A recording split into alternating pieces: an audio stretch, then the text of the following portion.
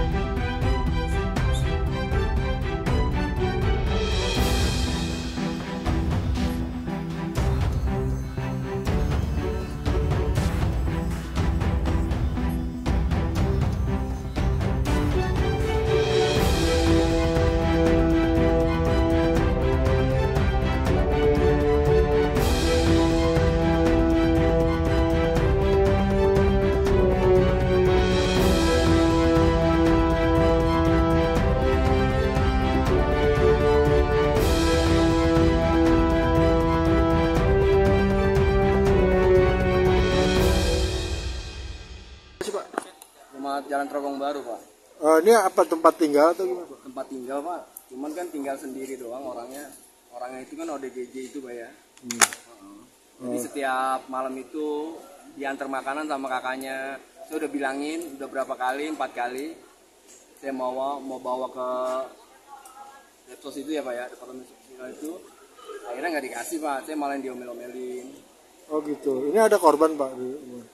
Kalau untuk korban ini kan lagi dievakuasi juga ya, Pak ya, lagi dilihat-lihat juga sih. Ada satu korban berarti di sini. Uh, kalau untuk jelasnya saya kurang begitu ini ya pak ya. Kalau untuk ada korbannya apa enggaknya ya. Ada tapi ada orang yang tinggal di sini. Pak. Kayaknya sih ada pak. Ini pendugaan sementara apa Pak? Waduh saya kurang tahu pak. Soalnya saya kalau udah ke sini itu api dari bawah sama atas itu udah Udah gede gitu. gede gitu pak. Jadi kita langsung tindak aja pak. Langsung kita manggil ke madam. Apa dengan Bapak siapa? Bapak Jul, Zulfikar. Ketua RT Bapak? Ketua RT 11 RW 07 dan dari Selatan. Masih ada Pak. Apa sih Pak yang kebakar Pak? ya rumah tinggal ya Nah, satu orang itu juga nah, informasi dari lingkungan itu OPDJ ya ya gangguan jiwa jadi dia pengetahuan tetangganya dia sering main api di lantai Berarti ada unsur kesengajaan. ya namanya OPDJ ya nggak bisa Iya, maksudnya gitu Pak. Pak tapi dugaan dugaan uh, penyebab kebakaran sendiri apa pak?